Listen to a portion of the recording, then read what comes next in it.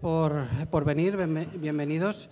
Gracias también a, a las bodegas por, eh, creo que ha sido Bodegas Enate y, y no me quiero confundir quién ha sido el otro que nos ha dejado el vino. Bodegas Enate y Bodegas Pirineos que nos han, mm, bueno, prestado, no, dado, porque no se las vamos a devolver. Eh, os ruego un consumo prudencial, moderado. del alcohol después, del vino, perdón.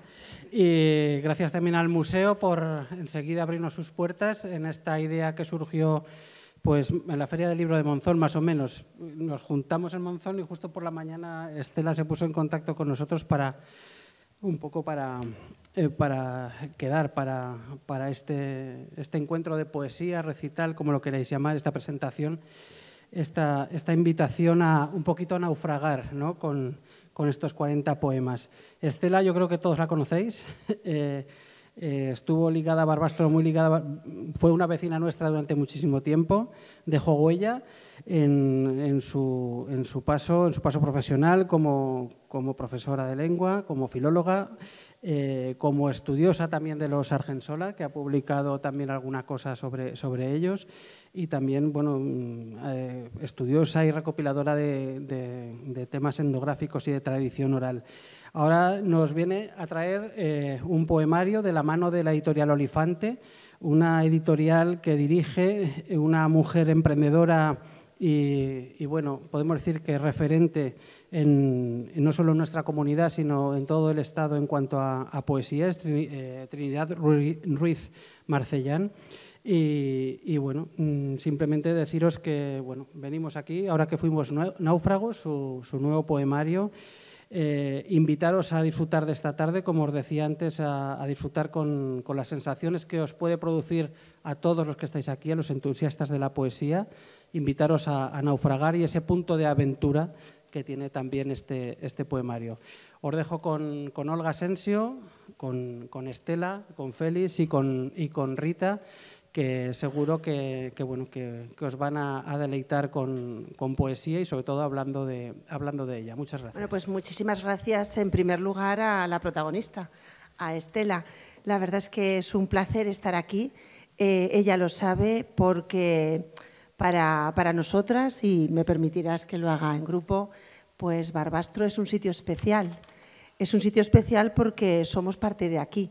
Las dos hemos trabajado aquí y, es eso quizá lo que más nos unió en esta vida. Nos conocíamos un poco, nos teníamos vistas por aficiones, pero no compartíamos la pasión eh, que nos ha dado Barbastro y eso también hay que agradecérselo. Además, todos ustedes conocen, supongo que yo sigo trabajando aquí, eh, siendo muy feliz cada día. Me encanta ver algunas alumnas o alumnos en actos como este y a todos ustedes que, les agradezco encarecidamente que hayan venido a la presentación de este poemario. Eh, a mí no me gusta eh, presentar a quien ya es un símbolo en un sitio. Por lo tanto, me lo ponen bastante difícil cuando me invitan a hacer estas cosas. Voy a intentar presentarte, aunque ya te digo que, va a ser complicado porque te conocen todos. Y de pronto, un día ya es viernes y te sueltan las horas y caes por allí. Este allí, que pertenece al poemario que presentamos hoy, no es otro sitio que Barbastro estos versos que son tan adecuados para este momento eh, son de Estela Puyuelo, quien es voz de, toda la tarde de hoy, una voz que fluirá espontáneamente en cuanto le demos la palabra.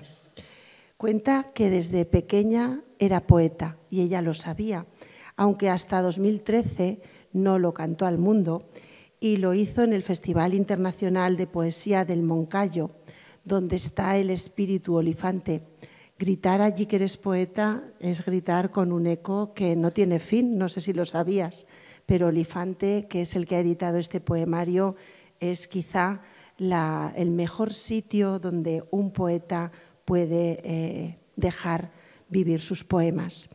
Estela es de amplia, formación humanística, ya lo ha dicho Víctor, eh, esa formación humanística que yo no voy a revelar y no voy a enumerar porque en ese caso estaríamos bastante rato y además es una, trayectoria que está en el poemario y como sé que todos ustedes lo van a comprar o lo han comprado, después pasaremos lista a ver qué pasa. Tú los conoces más o menos a todos, ¿no? Vale, pues entonces lo tenemos controlado. Bueno, bromas aparte. Está la formación humanística de Estela en el poemario y esa formación la ha ido llevando a lo largo de, toda su trayectoria eh, a la investigación, a la docencia, al periodismo, pero yo creo, y aunque es algo subjetivo, que sobre todo la ha llevado a disfrutar con su trabajo, a disfrutar con el conocimiento y a disfrutar también con revelarlo de forma sencilla, de forma didáctica a todos los que tenemos el placer de estar a su lado. Además de eso, nutre su vida con la naturaleza. Siempre hemos dicho que hay que nutrir el cuerpo y, la, y el alma, pues ella lo hace estupendamente porque la, naturaleza es parte de ella, la disfruta ahora más si cabe desde que tiene su trabajo en el Instituto San Alberto Magno de Sabiñánigo y también en esa comunión que tiene a través de su formación en yoga. Y a veces es suficiente con estirar la boca hacia las orejas, de manera que quede curvada hacia arriba, para que la vida ciertamente nos sonría. Esto también es de Estela y de este poemario. Y es que Estela sonríe con la mirada y siente con la poesía. Todos los gusanos de seda, libro de 2015, nos dio a conocer a una poeta sensible, consciente del cambio que produce el tiempo en cada uno de nosotros y que nos hace acabar siendo mariposas, aunque a veces el camino desde el gusano de seda nos cueste bastante y lo veamos bastante pedregoso. Ahora que fuimos náufragos, nos invita a lanzarnos a la aventura marinera, al reconocimiento de orígenes o a la búsqueda de destinos, disfrutando sobre todo del viaje. Estela acaricia palabras, plasma emociones, su poesía tiene historia y descubrimiento.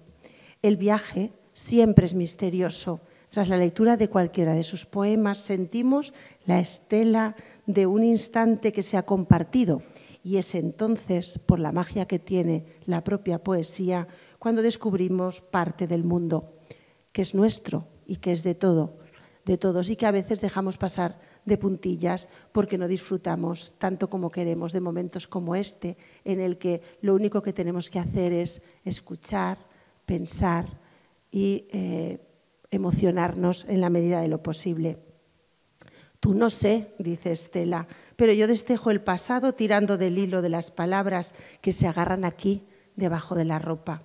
Pues aquí estamos, Estela, felizmente atrapados en este telar poético cuyos hilos empezarán a moverse cuando de la palabra a quienes nos acompañan y que se han prestado amablemente a destejer estos poemas para todos. Así que muchísimas gracias, Estela, por invitarme a esta presentación y cedo la palabra a Félix Gay y a Rita Piedrafita, que saben muchísimo más de este poemario que hoy, de hoy, que yo os presento hoy. Gracias. Buenas tardes, bienvenidos y bienvenidas a todos. Eh, gracias a Estela por invitarme a, este acto tan interesante. Eh, Olga ha destacado su, su valor o su, sus estudios humanísticos. y voy a destacar también los clásicos me ha chivado hace un ratito que está preparando posiciones de latín. La competencia. Con lo cual, pues eh, curiosamente, Estela y los clásicos grecolatinos es lo que he titulado. y voy a hacer unas pinceladas, eh, alguna un poquito más larga, pero bueno, voy a ello. antes del poemario ya hay un prólogo estupendo, precioso, de una antigua profesora suya de la Facultad de Humanidades de Huesca, Rosa Marina.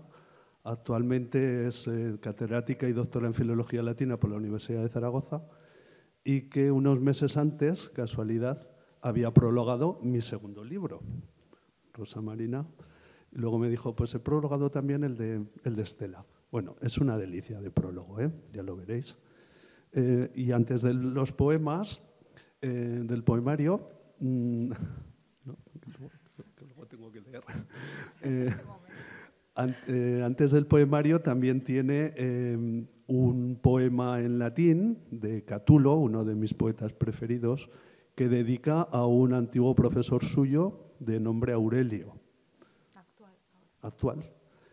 Bueno, como no ha puesto la traducción, si queréis, aunque sea un poquito por encima, os la hago para que sepáis de qué va.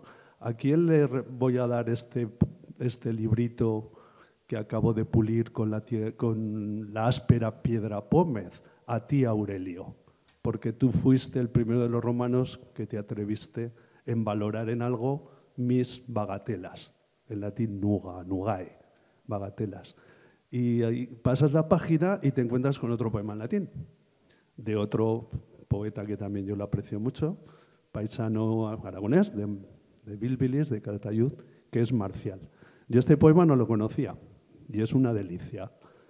Eh, se titula así genérico Cajitas de madera, eh, lo que li lignei, y es que los romanos tenían la costumbre de intercambiar regalos.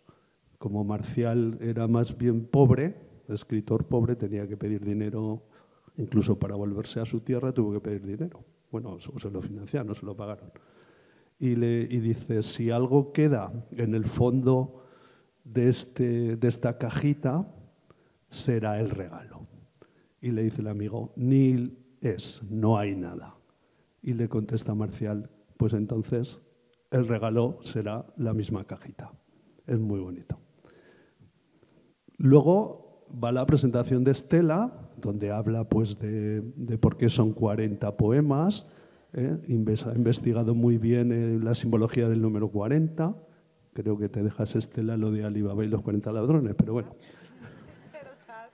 Es verdad. ¿eh? y lo he descubierto esta tarde, no me acordaba. Una cita creo que es de Cicerón, de Amiquitia, sobre la amistad, donde valora el nombre Alfredo Sánchez, me ha dicho que es un compañero o era un compañero de filosofía. Y bueno, la amistad, pues es cierto. Los momentos bonitos, pues poder hablar con alguien y los momentos más difíciles, voy un poco por encima, ¿eh? no traduzco, los momentos más difíciles, pues llevarlos con, más dignidad esa cita en latín con la que termina la presentación eh, Estela. Y ahora voy un poco con el poemario eh, inspirado, ¿verdad? basado, no sé cómo llamarlo, en la Odisea de Homero. ¿Eh? Bien, la Odisea de Homero consta de 24 cantos, por eso en la división de Estela veréis que pone cantos 1 al 5, cantos al 4, cantos del 5 al 12, son los cantos en los que estaría dividida la Odisea. Los filólogos alejandrinos lo hicieron así, eh, la Ilíada con las 24 letras mayúsculas del alfabeto griego y la hermana menor, digamos, no es menor, pero bueno, la Odisea con las 24 minúsculas. esa es la explicación de los, de los cantos. ¿De acuerdo? Bien. Eh, en el primer canto, que se titula Telemaquia, la telemaquia, Telemaco es el... Ah, bueno, una explicación antes. Odisea, ¿no? Odisea, viaje, aventuras, peligros, por suerte con final feliz. Pues bueno, debe su nombre al héroe homérico Odiseo, más conocido por la versión latina, la adaptación de la versión latina, en latín es con X, Ulixes, pero bueno, Ulises, Ulises, Odiseo, es el mismo personaje. Eh, y la psicología, para hilar con algo actual, la psicología moderna, eh, ha creado el síndrome de Ulises o del inmigrante con estrés crónico, porque Ulises, por desgracia, tiene todo el pack que pueda sufrir un inmigrante. Tiene que salir de su patria, tiene que encarar una guerra que él no desea, no es su guerra, la guerra de Troya, sufre persecuciones, miseria, hambre, ve morir a todos, a todos, el único que sobrevive es él, pues ve morir a todos sus compañeros, llega a su patria y aún tiene que sufrir más humillaciones de los pretendientes al trono de, de, Ítaca y hasta de, los, de algunos de sus criados. Lógicamente va caracterizado de anciano pobre, harapiento para no ser reconocido, pero bueno, las humillaciones ahí están. El pack completo, eso, como digo, de, un migrante. Bueno, y ahora sí iríamos a, la primera parte, la telemaquia, telemaco, el que combate de lejos, un nombre parlante en griego, es el hijo de Odiseo, que en los primeros cantos, eh, bueno, miento, me estoy dejando una cosa que es muy importante, lo siento, no por no mirar la chuleta. Eh, no, no, voy bien. Eh, voy bien con Telémaco, que sale en busca de noticias de, su padre, porque claro, van regresando los guerreros griegos, pero allí nadie, Ulises no llegaba, Odiseo no llegaba. Y el comienzo de la Odisea, el comienzo del poemario de Estela, voy a intentar conectar, ¿eh? es la invocación a la musa, en número la musa Calíope, la de bella voz. Estela va más allá. Estela recorre las nueve musas, en siete poemas, pero las nueve musas, y aún nos regala un octavo poema, Las musas en el estado de alarma. Muy, muy interesante porque creo que dice que a veces las musas nos abandonan. Y aquí yo conecto con otro clásico, no greco-latino, pero sí clásico, que es el cantautor eh, Joan Manuel Serrat. En su canción eh, No hago otra cosa que pensar en ti, dice, no hago otra cosa que pensar en ti y solo sé que componer canciones. Hoy las musas han pasado de mí, andarán de vacaciones. Esto de la invocación a la musa era una constante en la antigüedad. Aparte de Homero, en la Ilíada, en la Odisea, como he dicho, también apenas medio siglo después lo hace otro poeta griego eh, y lo hace Virgilio en la Eneida, Hesíodo, que no me salía el nombre griego, Hesíodo en su Teogonía, lo hace Virgilio en la Eneida y acercándonos más en el tiempo, pues John Milton en El Paraíso Perdido, lo hace eh, Luis de Góngora en su fábula Polifemo y Galatea, e incluso William Shakespeare en su tragedia Enrique V, la invocación a la musa para inspirarnos.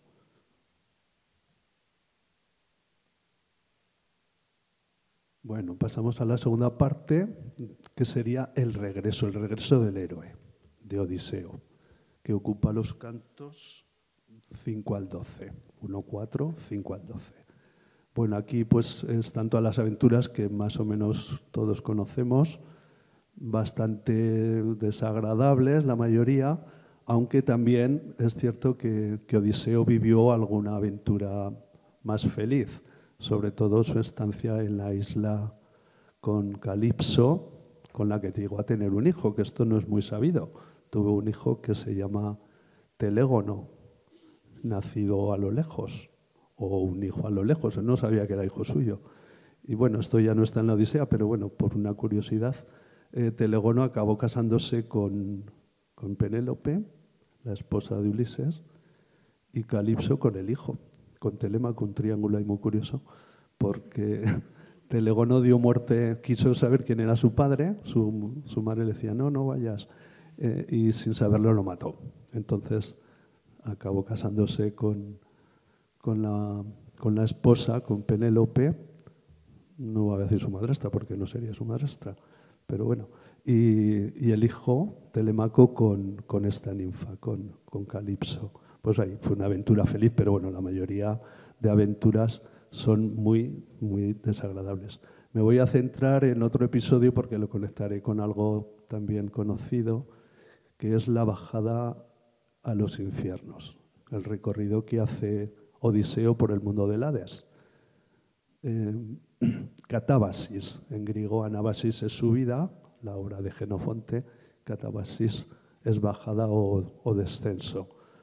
Eh, Ulises se va encontrando, Odiseo se va encontrando con todos los personajes del Hades, Caronte, el barquero Caronte, el perro de tres cabezas, y hay un personaje que es el primero que, sale, que le recrimina, que es el penor, el que le recrimina que no haya sido enterrado, conforme a los ritos que tenían los antiguos. Eh, este el penor fue el primer compañero de Ulises, lo digo porque mm, el penor, ¿quién es el penor? Pues por lo menos los que son menos conocidos os los explico y eso, y eso que entenderéis mejor. El penor fue el primer compañero de Ulises que falleció eh, en la isla, cuando estaban con Circe, una noche de borrachera se subió al tejado, para que se le pasara la mona sería. Se quedó dormido y al día siguiente, pues con los preparativos de la marcha, oyó jaleo, se despertó, cayó del tejado y se mató. La psicología, de nuevo, ha creado el síndrome del penor para la persona que tiene dificultad para despertarse, hipersomnia, se despierta confuso, aturdido y con síntomas de agresividad. Los clásicos y la modernidad. Y eh, también se encuentra con, bueno, la finalidad de, Odiseo es hablar con el adivino Tiresias eh, para que le aconseje cómo salvar ciertos peligros que tiene todavía que salvar. Y se encuentra también con Anticlea, que es su madre, la madre de Odiseo, y que le dice que su mujer y su hijo viven, que están bien, su padre, el anciano padre también vive. En fin, muy curioso el viaje por el infierno. Y la conexión que había dejado ahí en el aire efectivamente es con el poeta Dante, aunque no es el mismo infierno, el infierno clásico o grecolatino es donde van todas las almas de los muertos, para entendernos, el infierno de Dante es otro. Pero bueno, el infierno de Dante, eh, el recorrido que hace va acompañado del poeta Virgilio, que he nombrado antes. Y también una curiosidad, y ya terminó con el infierno. No podían entrar, los vivos no podían entrar y los muertos no podían salir. Las almas de los muertos no podían salir. Solo cuatro héroes pudieron entrar al infierno. Eneas, el protagonista de la Eneida, Hércules, a por el perro de tres cabezas en uno de sus trabajos, em, Orfeo, por su amada Eurídice, con su música pudo atraer, convencer a los dioses de que le permitiesen el regreso, no le salió en la jugada por desconfiado, y Ulises, nuestro protagonista. Y llegamos a la tercera parte del poemario, que ocuparía de los cantos 13 al 24 y que se titula La venganza. La venganza, que es básicamente la matanza de los pretendientes. Eh, el primer poema de, esa tercera parte eh, se titula Ítaca. Ítaca. El héroe ya ha llegado a Ítaca, la, su isla, y como yo también tengo cosas iguales que, Estela, porque los clásicos están en todos los sitios, me he permitido en mi libro incluir un, breve fragmento de, de Lluís Llach, Lluís el cantautor catalán, que versionó un poema precioso de Constantino Cavafis de 1911. Os lo voy a traducir. Ten siempre en el corazón la idea de Ítaca, Has de llegar allí, es tu destino. Pero no fuerces en absoluto la travesía. Es preferible que dure muchos años. Que seas viejo cuando fondees la isla, rico de todo lo que habrás hecho, ganado haciendo el camino, sin esperar que te dé más riquezas. En, en otra estrofa dice, es si la encuentras pobre, no es que Itaca te haya engañado, sino que con todo el conocimiento que has adquirido, pues ahí está. Sabrás lo que quieren decir todas las Itacas, porque efectivamente todos tenemos nuestra Itaca particular, nuestro, nuestro viaje y nuestro destino. Eh, continuaremos con otros personajes y llegaríamos a lo que es la matanza, la matanza de los pretendientes. Bueno, Odiseo se va presentando, va tanteando pues quienes le son fieles durante 20 años de ausencia en el palacio, quienes le son fieles y en el banquete que se organiza lo han, bueno, lo han despreciado, eh, va, ya he dicho, como un harapiento. Eh, la prueba del arco, que seguramente conoceréis, como él es el único capaz de tensar su propio arco, todos los pretendientes fracasan, él supera la prueba de largo y acto seguido, em, con buen criterio, a todos, a todos los que están en el festín les han quitado las armas. No sea cosa que bebáis mucho vino y os liéis aquí con, con las armas. Los han dejado desarmados y coge el arco, Ulises, Odiseo, y al primer pretendiente que mata, Antino, es otro poema, Antino, que es el más gallito, el más, este que te cae mal, eh, le clava la flecha en el cuello y le sale por, por detrás. Antino.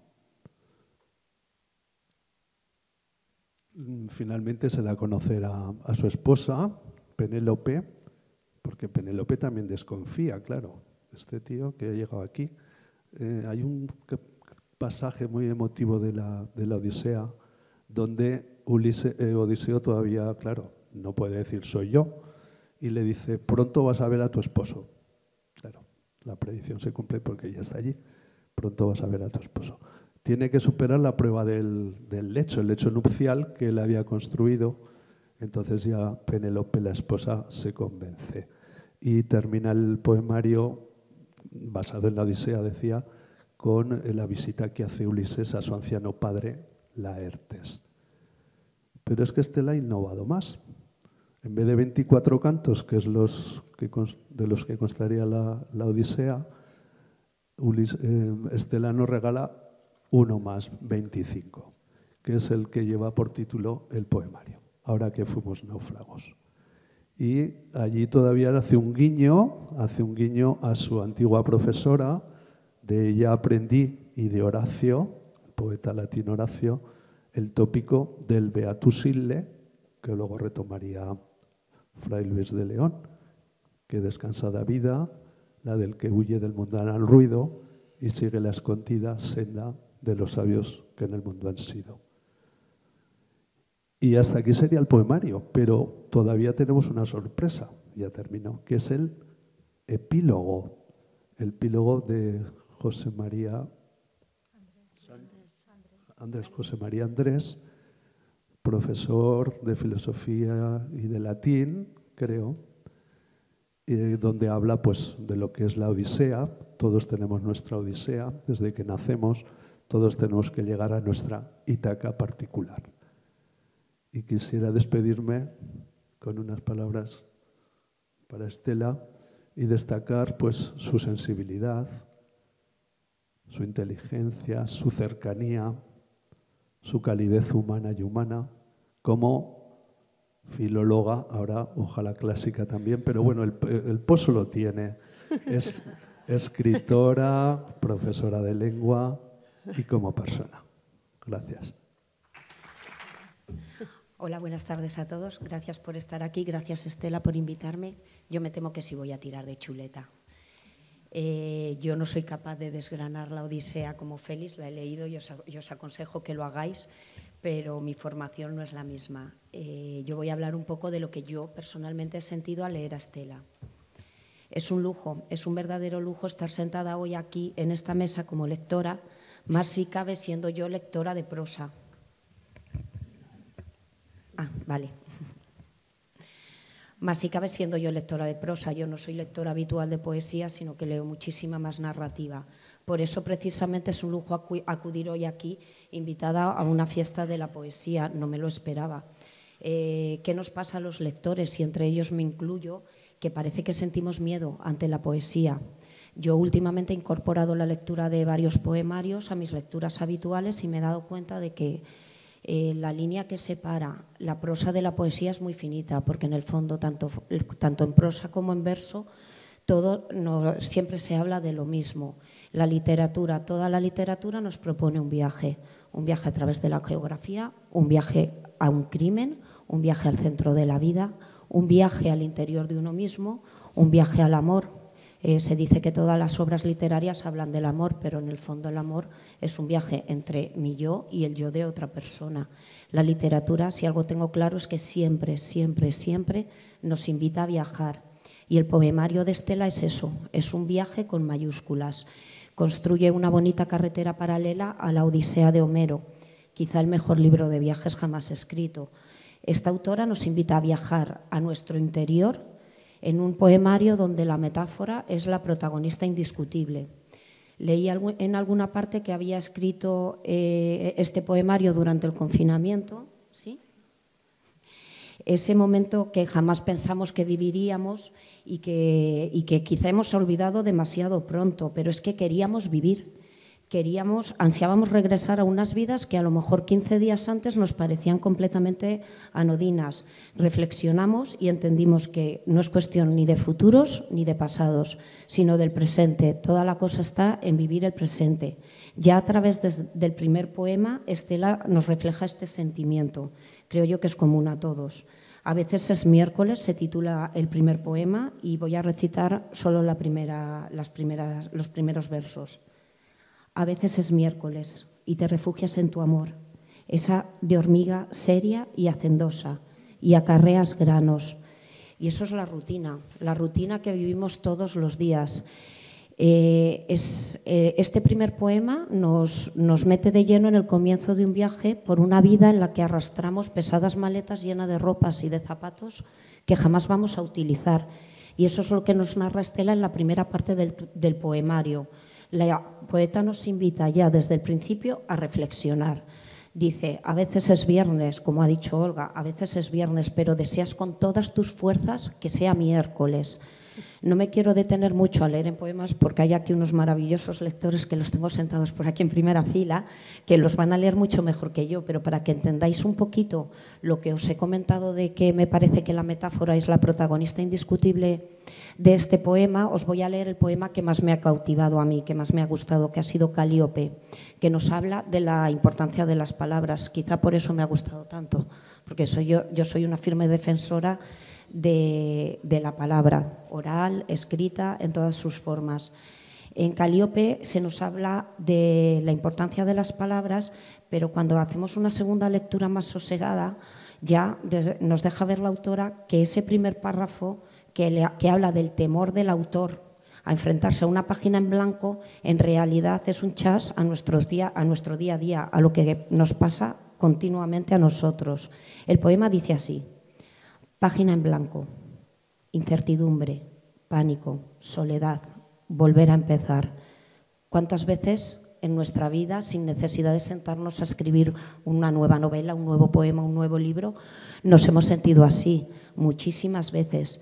A través de sus versos, Estela nos está invitando a eso, a un bonito viaje para celebrar la vida, abandonando en el camino todo aquello que nos pesa, lo que nos frena, lo que nos lanza eh, cuando vas avanzando en la lectura del poemario, eh, empiezas a ver un canto a la esperanza. No sé si alguien va a leer Guiñale un ojo a la vida. Sí, la va a leer Antonio. No voy a decir nada, pero me gustaría que prestarais mucha atención a, ese poema, porque lo que nos dice es, nos, nos enseña una luz, una luz al final del túnel. Verso a verso nos va llevando hasta el final del viaje, el regreso a casa en la que nos sentíamos arropados en su primer poema, en A veces es, miércoles, eh, y nos lleva a cerrar el círculo con Itaca. Eh, vamos a adentrarnos en la poesía. Me gustaría, a mí personalmente como lectora, me gustaría adentrarme y me gustaría reivindicar un poco estas fiestas, estas celebraciones en las que nos juntamos lectores eh, que podemos leer, o como yo, leer poca poesía o leer muchísima poesía. Yo, por ejemplo, sí que leo muchísimos clásicos y todos ellos me parecen actuales y me gustaría que se repitieran mucho estas celebraciones de poesía, de lectura, de gente que amamos leer los clásicos, de, literatura, de literatura en general. E imagino que vosotros, si estáis aquí, también sois habituales de la lectura de, clásicos y de poesía. Entonces yo desde aquí propongo que luchemos porque nos podamos volver a encontrar a celebraciones como esta. Eh, muchísimas gracias, Estela, por invitarme en este viaje. Pues ahora le toca la oportunidad de a la protagonista decir qué le parece todo lo que hemos dicho sobre su poemario, porque no olvidemos que el poemario suyo y aquí entre Félix y Rita nos han hecho un análisis tan bueno, tan concienzudo, tan motivador, que, no sé si le quedará mucho que decir o, o nos tendrá que llevar la contraria en alguna cosa. Eh, antes de que lo puedas hacer o lo tengas pensado, eh, una cosa que, yo también quiero ahondar un poco en lo que ha dicho Rita. Es verdad, eh, momentos como este son inolvidables. Siempre que asistimos a algún acontecimiento cultural, nos va a quedar algo en nosotros que nos va a hacer no solo más cultos, sino nos va a hacer más felices. Y cuando asistimos a un recital poético, a una presentación de un libro de poesía, tiene un plus y es que nos llevamos la lectura casi hecha, que la podemos reproducir tantas veces como queramos, en voz alta, en silencio, más incluso en el interior que el silencio. Pero eso es algo que, solo se produce cuando tienes eh, la oportunidad de escuchar algo tan eh, especial, un regalo tan bien envuelto como es un poema de la voz o de la mano de personas que lo han interiorizado, que lo aman. Y si además eh, tienes la oportunidad de escucharlo en la voz del autor o autora, también te llevas algo más. Pero yo creo que ellos también reciben mucho cuando escuchan sus poemas leídos por otros. Eso, mm, como yo no soy poeta y no he escuchado ningún poema escrito por mí, leído por alguien, ella que sí que sabe de qué hablamos, nos va a hablar de este poemario y de todo lo que quiera. Bueno, pues me ha tocado, me ha tocado hablar. Intentaba que no, pues iba dando la palabra a unos y a otros, pero al final... Los intentos los ha hecho buenos, pero... Gracias por venir. Gracias, Olga Asensio, Feliz Gay. Gracias, Rita Piedrafita, por estar aquí. Hay una, una, cuestión, Rita, que quería comentar aquí, y es que leyéndote en Facebook esta semana, eh, habías hecho un comentario sobre el día de hoy y decías que hay que reivindicar el talento local. Y yo eso es lo que he venido a hacer, a reivindicar el talento local. Lo del poemario es solo una excusa para reuniros a todos aquí, a todas las personas maravillosas, todas y cada una de las que están aquí, los que eh, están en la mesa, los que van a leer, que han dicho que sí, que han dicho que sí todos. Eh, Juan Carlos, te tengo que decir que, que, a mí también me han dicho que sí todos, entonces estoy muy contenta, que es una maravilla de libro también. Entonces, eh, bueno, pues gracias al público también por asistir, por decir que sí a, la poesía, que es un género tan difícil, ¿verdad? Que muchas veces incluso los críticos literarios parece que lo dejan un poco esquinado, pero al final, al final acuden. Al final acuden a los versos a ver qué nos dice esa esencia, ¿no? De en tan poquito texto decir tanto. Es muy difícil. Yo creo que es lo más parecido a, los microrelatos, un poema, que hay que leerlo despacio. Hoy tenemos grandes lectores que, van a leer despacio, que nos van a hacer saborear todos esos mm, personajes de la Odisea de Homero y que Félix aquí nos ha hecho una introducción maravillosa de toda la Odisea desde el principio hasta el final. Entonces, el público tendrá que ser capaz de situar cada uno de esos personajes dentro de la narración de Félix, porque es una obra muy compleja y nos la ha explicado maravillosamente. Es que tenemos muchísima suerte de estar acompañados de gente tan eh, hermosa, tan sabia, que le gusta leer, que le gusta compartir. Eh, a veces, los que trabajamos en un instituto de educación secundaria, nos damos cuenta de, que, somos muy afortunados, porque estamos un montón de profesores de un montón de, saberes distintos y de pronto nos encontramos ahí, ¿no? Aquí pasa un poco lo mismo. Tenemos que reivindicar ese talento local, Rita, con la excusa que sea. Pues en este caso es un poemario, pero juntarnos, reunirnos, poner en común cómo está la vida. Mira, este, este poemario surgió efectivamente en el confinamiento. Realmente yo tenía preparado un poemario totalmente diferente para la editorial Olifante que va a salir el año que viene, pero yo le dije a Trinidad, mm, páralo, yo no quiero contar esto ahora. Hemos vivido algo tremendo, estábamos confinados y yo quiero contar esta experiencia. Y entonces me sentí pues verdaderamente como en ese mar eh, inmenso que es la vida, pero de pronto me di cuenta de que había algo que se llama incertidumbre que formaba parte de mí y de todos mis seres queridos y de toda la humanidad. Y de pronto nuestra vida se truncó y nos encontramos aislados y, y, nos vimos obligados a estar en casa, luego a llevar una mascarilla, luego poquito a poco nos la quitamos. Y es verdad que Mm, parece que, se nos, ha olvidado, pero hay un antes y un después y la vida nunca será igual. y seguimos y seremos, siempre náufragos. Entonces, el poemario hay algo como oculto, pero que al final se hace patente, que es del, verbo pateo en latín, que, es o pateor. Bueno, la primera persona del singular del presente de indicativo es pateo. No, no vais a discutir ahora, ¿verdad? Y entonces, hacerse patente algo, ¿no? Y es que mm, quizás mm, vivimos en un, estamos en islas muy distintas y tenemos y vamos mandando botellas como si estuviéramos muy solos y, a lo mejor es mucho más sencillo como reunirnos, ir desde el yo hacia el nosotros. Y yo creo que esta es la fiesta del nosotros. Para mí también Barbastro es una Ítaca. Eh, hace 10 años que no vivo en esta ciudad que, en la que he sido muy feliz y para mí este reencuentro también es volver a una Ítaca añorada, que sois cada uno de vosotros, que, es este suelo, porque también, ¿verdad, eh, Juan Carlos, los lugares forman parte de, nuestro interior, de nuestra vida, de nuestros recuerdos y, soy muy feliz cada vez que vengo a Barbastro y, lo recuerdo, a esta Ítaca que está aquí, ¿no? Así que, bueno, tenemos un, recital precioso con un montón de, personas que no me quiero enrollar demasiado para que dé tiempo de, escucharlo. Y sí que os pido, pues eso, que, bueno, voy a leer un poema antes de...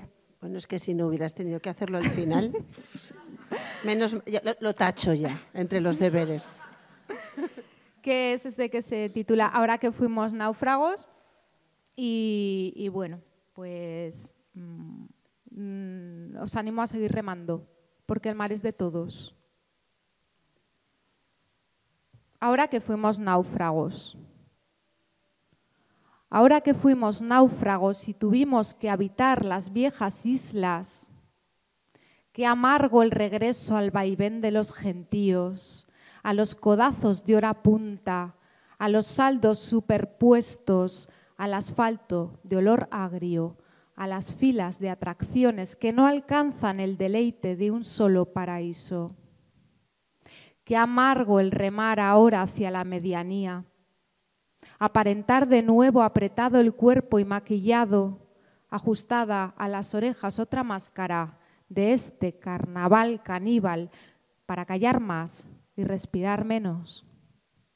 Yo de Horacio aprendí y de Rosa María Marina y también de los hermanos Argensola, por cierto, que también trataron este tópico del Beatus Sile. El Beatus Sile que ayer dijera el sabio Fray Luis en castellano. Y a los confines del mundo treparé asiéndome a las rocas en feliz intento por lograr la huida y también el reencuentro. Gracias. Se nos ha hecho muy corto, ¿eh? así que yo no descarto la posibilidad que tengas que cerrar el acto, porque para algo ha venido, ¿no? Gracias, Estela.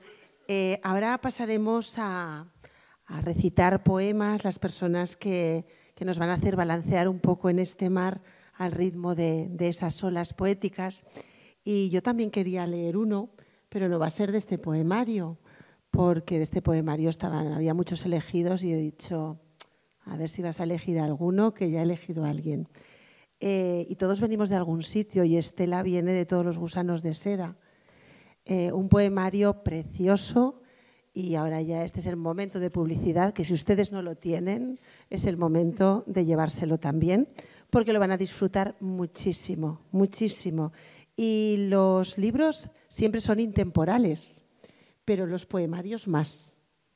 Los libros, las novelas, yo creo que los que leéis o os gusta leer como a mí, eh, pensaréis un poquito lo mismo.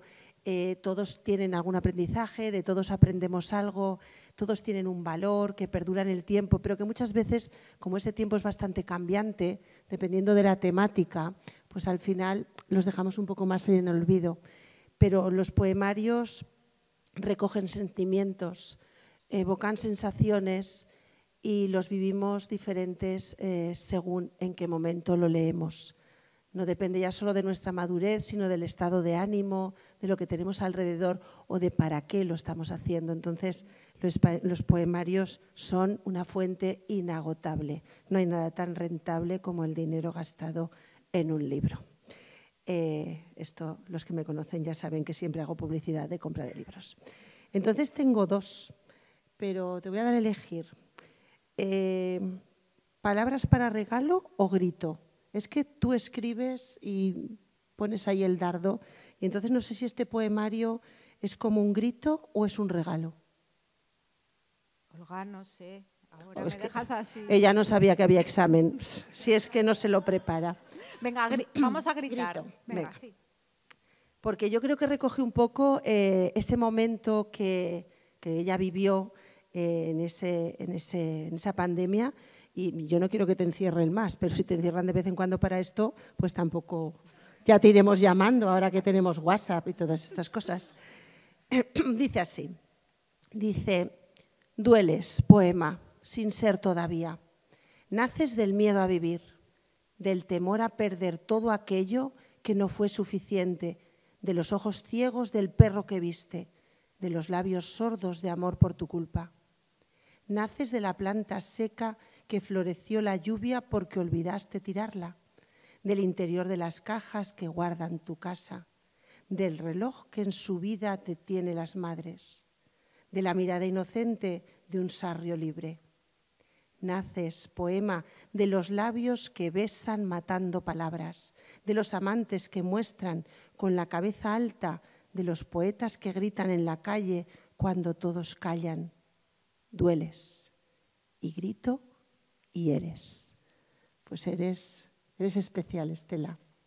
Así que ahora te lo van a demostrar cuando escuches tus poemas en la voz de las siguientes personas. Como son muchos, afortunadamente, los voy a nombrar a todos de vez y les dejaremos este espacio que han dicho que es el que más foco da y ya ven a quién han sentado aquí, porque ya no ha querido.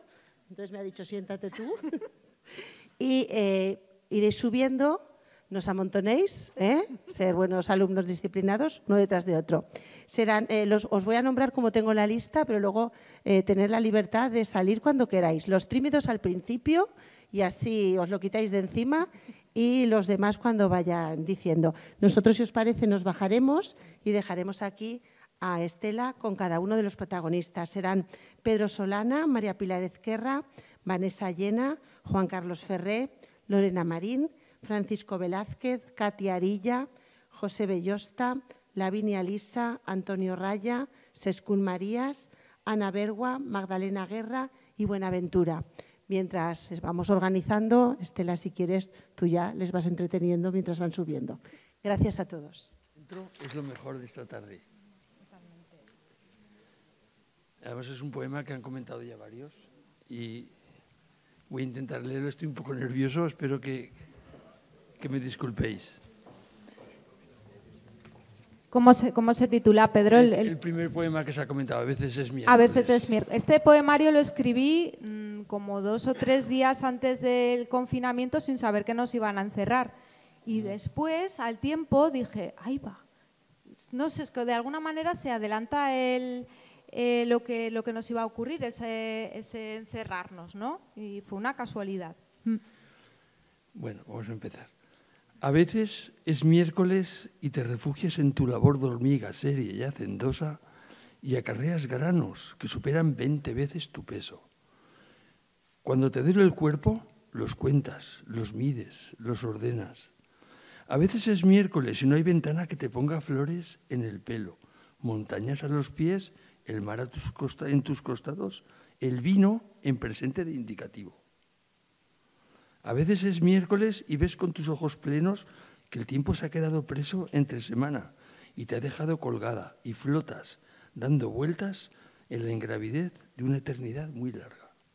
Y de pronto, un día ya es viernes y te sueltan las horas y caes por allí, en el fin de semana. Y no sé por qué, quizá por el golpe, no te importaría nada que fuera otra vez aquel miércoles donde te arropabas.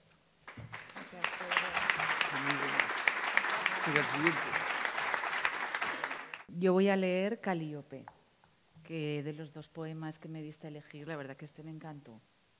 Y, nada, y comentar de Estela, pues que la conozco, ¿verdad?, de hace años, pero bueno, el año pasado coincidimos en el instituto y, que para mí siempre ha sido un, referente ya no solo profesional, sino que eres como, como una luz, ¿verdad? Y siempre parece que transmite como esa bondad y ese optimismo que a veces hoy no, no es fácil encontrar en, en todas las personas.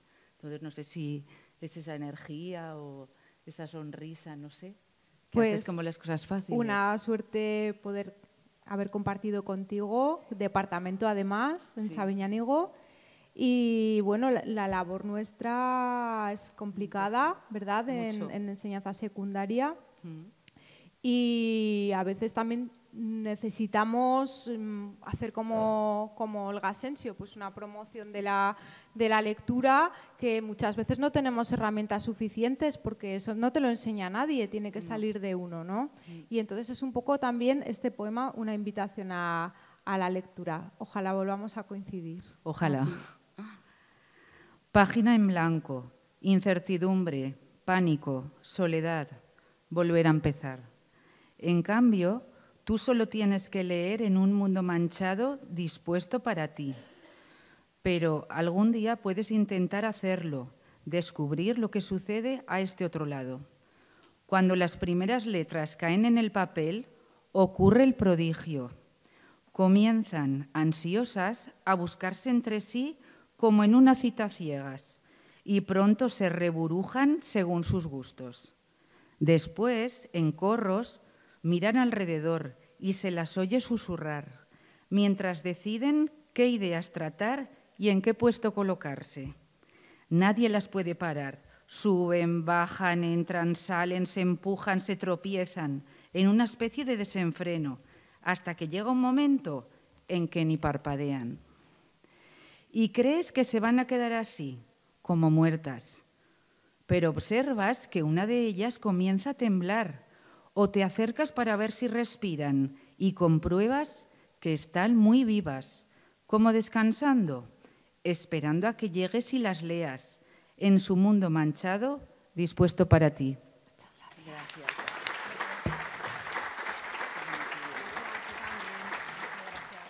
y muy orgullosa de, de estar aquí yo contigo y, y de que nos invites a, a estos actos que, que son tan necesarios. Bueno, el poema que, que voy a leer eh, es Antino, que es uno de los eh, personajes que ha comentado Félix, y dice así. Apuñalé todos los versos que había escrito aquella noche y descuartizadas las estrofas, decapitado el título, hice un montón con los restos y los lancé al fuego para que los lo devoraran las llamas. La luz de la hoguera iluminaba las palabras huérfanas, adverbios convulsionando en su dependencia verbal, verbos destronados sin reino de complementos que gobernar, adjetivos amputados de los verbos o de los sustantivos, que dejaron desamparados a los determinantes sin función sintáctica alguna, preposiciones y conjunciones, mancas y errantes, desenlazadas de todo, sin poder abrazar de nuevo. No se distinguía un solo sintagma vivo en ese amasijo rojo del lenguaje incomprensible. Solo se escuchaban claramente las voces de las interjecciones que gritaban aterradas, se lamentaban sorprendidas o reían furiosamente en la desesperación de un poema que, por encima de la sintaxis, aún podía sentirse.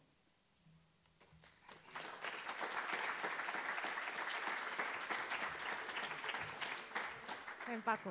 Bueno, la- tardes a todos. Nada más leer esta hoja, ¿no? Solo, ¿no? Bueno, mira, lo mejor que hay en mi vida es tener un micrófono delante y una mujer tan guapa como ella. Cuando la conocí era de noche y me vino un resplandor y eran sus ojos. Sí, sí. Eso eran sus ojos y siempre se lo he dicho, tiene sus ojos que alumbran. Y en estos años ha ido alumbrando todas estas poesías y todos estos poemas que hoy algunos vamos a leer y yo le doy las gracias por haberme llamado y haber pensado en mí. Gracias, Paco. Se lo vamos a dedicar a Rosalía. Sí, ahí está mi esposa, pero bueno, te conoce mucho, te quiere mucho. Yo también. Y te estima mucho y te estimamos los dos, como buena pareja. Bueno, ahora a ver si me sale bien y si no me perdonáis, porque nada más leo la iglesia, ¿eh?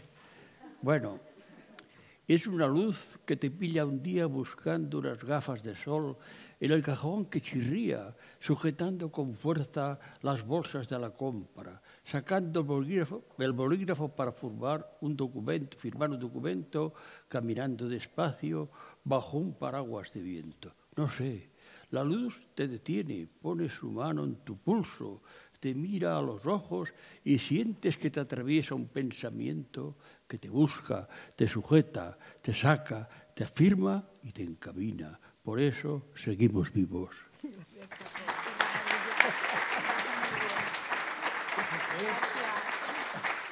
Profesora de filosofía y que nos va a leer un poema muy filosófico, Lorena, ¿no? Pues sí, a ver, has hablado de Ítaca y tú dices que vuelves aquí. Yo vuelvo a la magia cada vez que te miro. Tú lo sabes, que lo hemos hablado muchas veces. Puede ser que haya mucho tiempo que no nos hayamos visto y de repente nos miramos y las dos sabemos que la magia existe y que el cariño y el respeto que te tengo perdura siempre. En fin, voy a leer, que si no me emociono. Ítaca, que sea el día, que el sueño se haga real, llegar, posarte en el suelo, tocar ahora mismo las piedras que destrepan la hiedra, respirar. Ese aire suyo que se contuvo en los pulmones del tiempo, recordar qué pedazo de cielo le corresponde, escuchar cómo late el silencio aquí, que sea el día, que la realidad atragante tus sentidos, que se haga otra vez sueño y no llegar.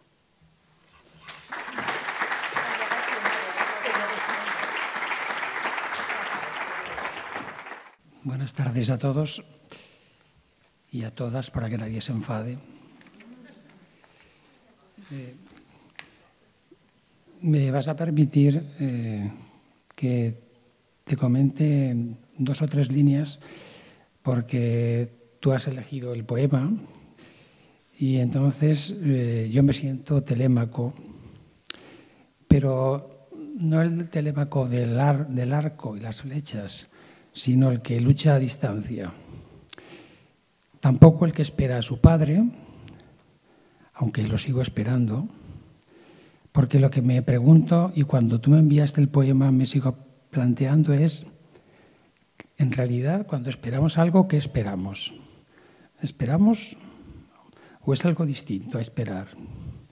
Porque claro, cuando pensamos en los misterios de los seres más cercanos, y en este caso mi padre, a mi padre lo sigo buscando hace 20 años como telémaco que soy, soy mal telémaco. El poema dice así, es ahora, ahora, cuando los grillos de nieve empiezan a crujir sus alas en los sótanos del monte y el silencio empuña el mordisco que se ata al árbol de la vida. La noche ya se ha puesto en las caderas de las casas habitadas por los nómadas de nadie y es ahora cuando el jinete blanco lanza el brillante estribo y da la orden. Una palabra sube al trapecio de la luna y se columpia desnuda justo ahora.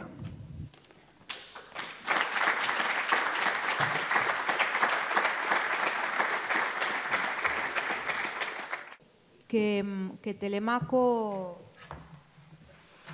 de pronto es como si se convirtiera, fuera un niño y se convirtiera en un hombre y decide defender a su padre e irlo a buscar, ¿no? aunque realmente nunca lo, puede encontrar, su padre vuelve por sus medios.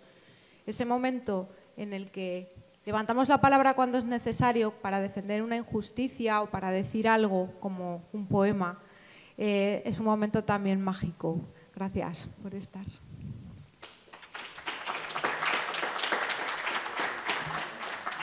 Yo soy de pocas palabras. ¿Qué, vas a leer, Katy? Yo voy a leer Poseidón. Poseidón. Poseidón es, no sé si estará feliz conmigo, uno de los protagonistas, de los máximos protagonistas de la Odisea. El malo, el antihéroe. Así que, que tenía que tener su presencia aquí también con toda su fuerza. Pues sí, pues has elegido un antihéroe muy hermoso para mí. Gracias. Tiemblo, tiemblo. La tierra donde me paro a descansar se mueve, no se está quieta. Entra en espasmos y me sacude y creo que me va a derribar y en sus estertores me empuja y casi me abate y me equilibro. Y sé que no puede tumbarme, que no me meterá en la tumba, que solo doy tumbos errantes, pero no sé cómo, no sé dónde encontrar un pedazo de tierra en calma que me acune como una madre. Me las me las Muchas gracias. Además es que se lo ha aprendido de memoria, un poema. Me, equivoqué y lo aprendí de memoria. Y, y, ahora me doy cuenta que hay una presión aquí que me engañó, me engañó. Imaginó ese poema, porque es muy dramático, en tu voz y me sobrecojo. Si Katia aquí ya casi me ha hecho llorar, yo, creo que me voy a sentar por ahí, ya me voy de aquí. Yo simplemente, lo primero de todo, agradecer a Estela que nos ha reunido a muchos aquí después de 10 años. Yo a muchos, aún viviendo aquí, no los había visto desde hace 10 años, incluida ella. Y ha sido pues, una excusa magnífica el, este evento para eso. A mí me ha tocado Clio, no sé qué, qué tal, ¿es Clio? Es, bien. Vale. Vale. vale. Eh, pero no sé por qué te he dicho que me lo he aprendido de memoria. ¿Se te ha olvidado? Sí. Tengo aquí el... No, no. A ver, voy a intentarlo. Eh, querrás la gloria. Consentirás abandonar un ser donde alguna célula arrancada de lo que fuiste sobreviva. Escarbarás con ahínco vertiginosos agujeros vacíos espirales desfondadas para extraer la veta del oro que compre tu recuerdo. Construirás castillos de profundas raíces, recortadas, largas, grises. La maceta del mundo presa, breve refugio de ese mástil desvelado que se aupa. La esperanza suspendida en torres que se inclinan, agarrada a las hojas de las ramas la angustia. Querrás la fama y si te abrirán las manos, el humo de la vanidad cegará tu resistencia y se resbalará tu aliento. Un cuerpo caído al fin y tu nombre cubierto de hojarasca.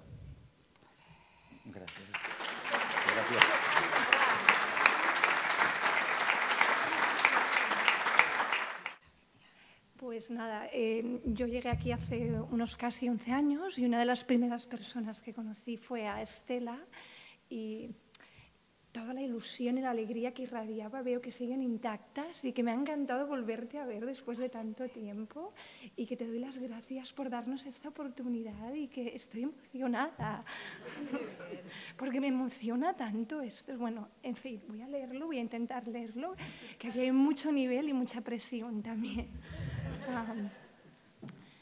Bueno, el poema que me ha tocado, que escogí, que me pareció precioso también, se titula Tepsicore Euterpe. La línea, antes de que empieces, sí. yo no, yo no te, o sea, esto, esto, es, esto, es, tu letra. Sí. O sea, es que no se pueden imaginar qué maravilla. yo me lo marco perfectamente. Bueno, eh, ok.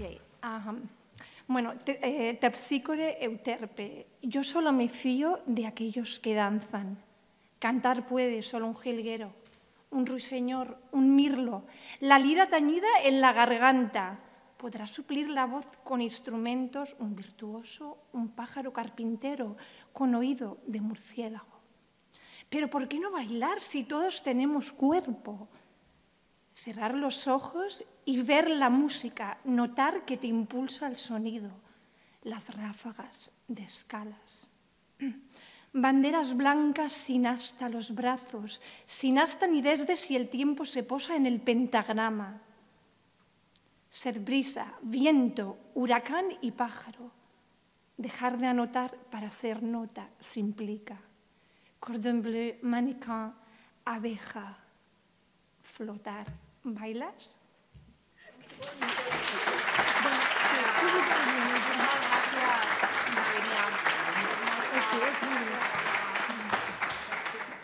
Carmen y voy a leer el que me has elegido. Bueno, esta personita que está aquí es como una hermana para mí.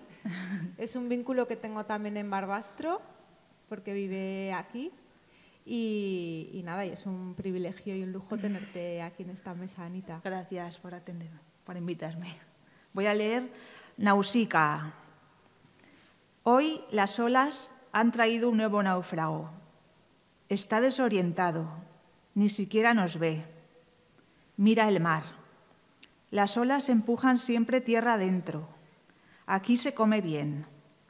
Podrá construirse una casa mientras fabrica su barca. Yo prefiero sentarme en la arena y seguir contando náufragos.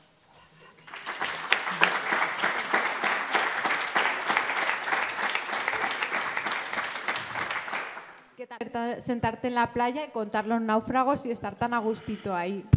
Buenas. Buenas. Eh, Bueno, aquí, aquí viene un poemazo y un poetazo. bueno, ya veremos. Que eres poeta de la imagen, ante Bueno, todo, Gracias. y nos, nos deleitas con tus preciosas fotografías. Antonio Bueno. Raya, muchas gracias. A ti. Y la tuve, estuviste de profesora en Azara un mes, lástima. Para el libro del pueblo.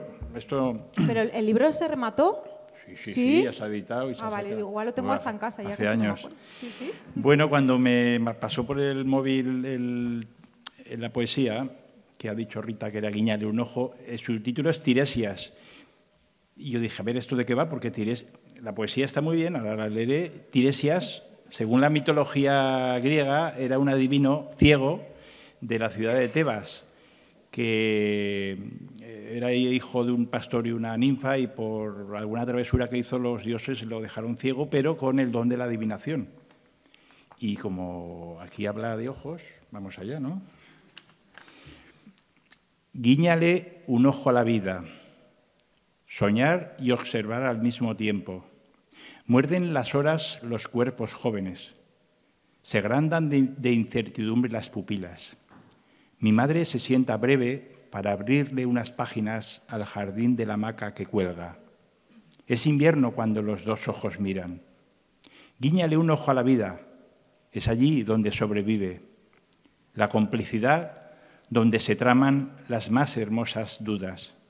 Verás caído el párpado, el caballo sin jinete, el polvo que levantan los sonámbulos y, al trasluz, esa otra posibilidad que dormía, ve preparando el camino, llegará la noche y dejará a oscuras la conciencia.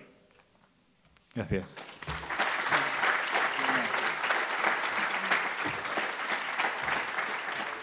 Visual, en este caso, pues con sus lienzos, da luz al mundo, Mada. Bueno, eh, lo primero que pensé cuando me, me dijiste si quería leer un poema, dije, pues claro, cómo no, menuda oportunidad, ¿no? Porque hace muchos años que nos conocemos y de alguna manera, como dice en el poema también, aquellas experiencias que vivimos, aunque no nos bañemos dos veces en el mismo río, se quedan pegadas en la piel. Bueno, este poema se titula Circe. La belleza se enreda en los párpados como una telaraña suspendida en el aire. Todos los intentos por capturarla son en vano, se desvanece, invisible como si nada fuera. Pero se te estampa fingiendo caricias que son cosquillas, se te pega como la seda al cuerpo desnudo y te esfuerzas en frotar tu rostro para acorralar el espejismo y destejerlo. Y no puedes, porque la piel de los ojos tiene memoria de araña.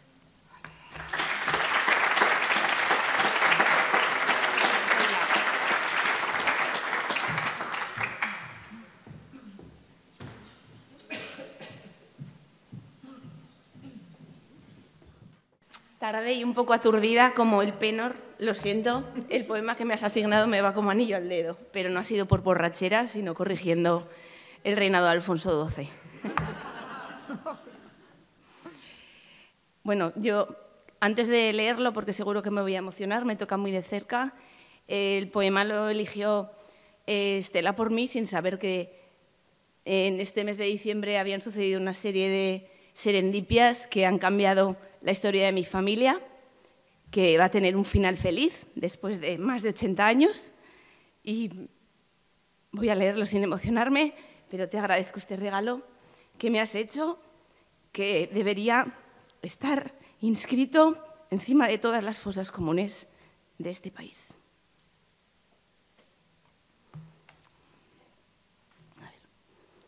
Un collar de huesos muertos sobre tus clavículas tibias, húmeros y cráneos engarzados, apófisis sifoides, calcáneos y costillas, pelvis, peronés y vértebras en círculo se abrazan a tu cuerpo vivo.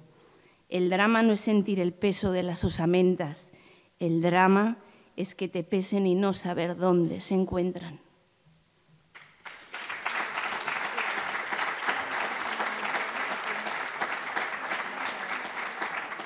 Poco el mundo cultural literario, lo que poco conozco es gracias a Santiago Lisa, que me ha hablado de este acto. Leo poca poesía, pero escribo mucha. Entonces, eh, no me han asignado ningún poema. Si tú me quieres asignar alguno, perfecto. Y si no, he estado ojeando y hay un par. no, no, no. Eh, a ver, he estado ojeando. Eh, por un lado, Cancerbero. ¿Eres alguno de ellos? ¿Te parece bien alguno de ellos? ¿Son tuyos? Son tuyos. Sí, pero bueno, no ¿Sí? puedes leer el que quieras. Sí. ¿Te parece bien Canterbury? Muy bien. Pues eh, entonces voy a leer Cancerbero. Siempre has sabido qué es una puerta cerrada, que te den con ella en las narices, hacerle guardia a la intemperie para no lograr colarte dentro ni una sola vez o pasar por casualidad junto a su umbral, ya casi olvidado, y sorprenderte de que otros la volteen como si nada. Espectros de los vanos. Si tienes el equipaje a punto y la aventura presa del oído, entenderás de lo que te hablo.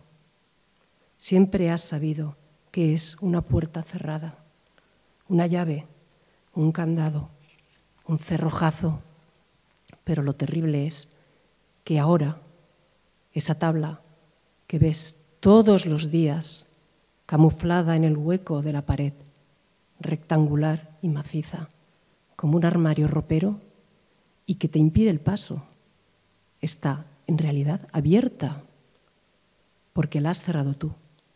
Y es posible que, cuando decidas salir un día de estos, coger la puerta y marcharte. Nunca más desees abrir ninguna otra puerta.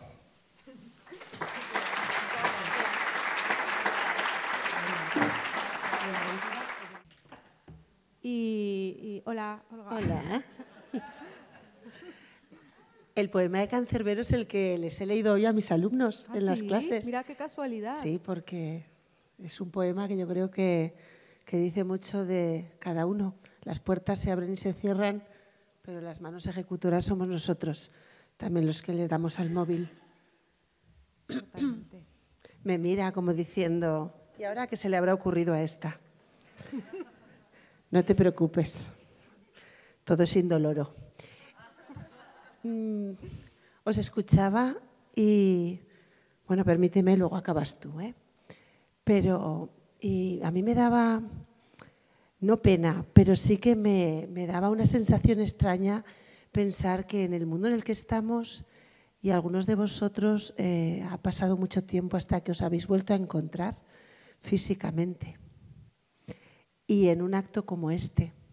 Por lo tanto, yo creo que tenéis la obligación moral de cara a todos los demás de que esto no pase solo como un evento cultural que ha sucedido en Barbastro el día San Blas que no es la, cigüeña Verás, sino Estela Verás.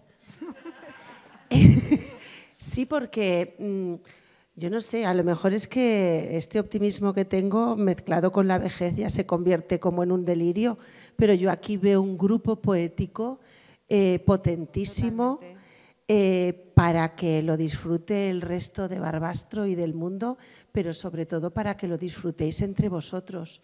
No permitáis que la vida no os deje espacio, eh, pues ya no sé si semanal, mensual o quincenal, para encontraros y para compartiros y para tocaros con esas poesías de unos a otros, los que las hagan por los que las escuchen y compartirlas con nosotros. Yo creo que es algo que tenemos que hacer. No lo sé, eh, yo no voy a mirar a nadie, yo creo que, sería un bien para, para la ciudad y un bien para la cultura, de verdad. Eh, a mí me habéis emocionado todos y cada uno de vosotros. Estela me emociona cada vez que hablamos y cada vez que, me, me enseña algo de lo, que, de lo que ha escrito, pero mm, tarda bastante, claro, porque le salen bien y todas las cosas se, se maceran lento. Pero de verdad, eh, me gustaría que dentro de un tiempo, ya que este recital parece que nació en la FLA, y yo casi no me enteré, fíjate, no sé qué hacía yo por allí, eh, pero que de verdad que ojalá de aquí eh, salga que esa amistad que os ha unido y que tenéis, aunque no sea físicamente, se convierta en algo eh, de producción poética. Yo estaría orgullosísima, me sentiría como la madre protectora de todos y cada uno de vosotros y, y me encantaría poder, poder disfrutarlo. Así que yo ya os voy a dejar con Estela. No sé si leer porque yo de los poemarios tuyos siempre me fijo en algunos que no sé si es que son los más raros o soy yo. el de Sirena. ese, a mí me gusta mucho. Claro, pero es que a veces hay poemas que cuesta hasta leerlos en voz alta, entonces este no sé. Yo, pediría la colaboración de José. Se titula Sirenas. Pip, pip, pip, pip, pip, pip, pip, pip. Al despertar, sirenas. El mundo está lleno de sirenas, pero yo ya no oigo las sirenas de la calle.